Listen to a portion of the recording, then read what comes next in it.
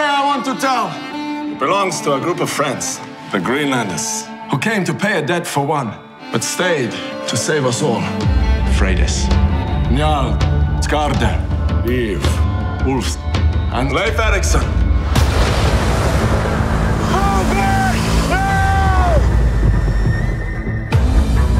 School children know that Leif Eriksson was one of the first Europeans to set foot in the North American continent. So the idea of bringing Leif and Freydis to Norway, to Kattegat, to embed them in the Viking story just seemed a very natural place to go.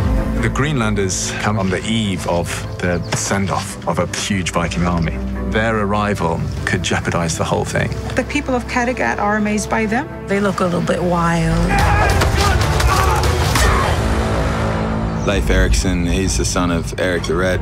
He's been brought up with his sister Freydis in Greenland. We all grew up in the middle of nowhere, fighting polar bears and hunting our own food with pagan beliefs. This is no longer a land safe for believers in the old ways. The Christian Vikings are very focused on absolute conversion to Christianity, or we're going to wipe the old pagans off the map. Christians are my true enemy. And you are mine, pagan. We're really at that place where the rubber meets the road. What kind of journey was it? Five weeks? In this? I'm impressed. Then you are easily impressed.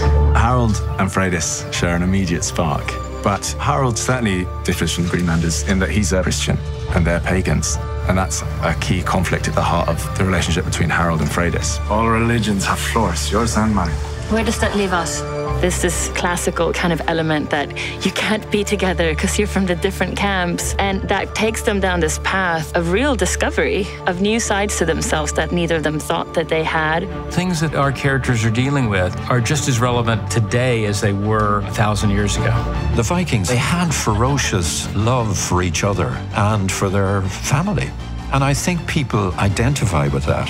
There's this sense of true dedication to each other that we know whatever happens, see you in Valhalla. This is where we say goodbye on Earth. It is only a quick farewell, as we will hail each other soon in Valhalla. Valhalla.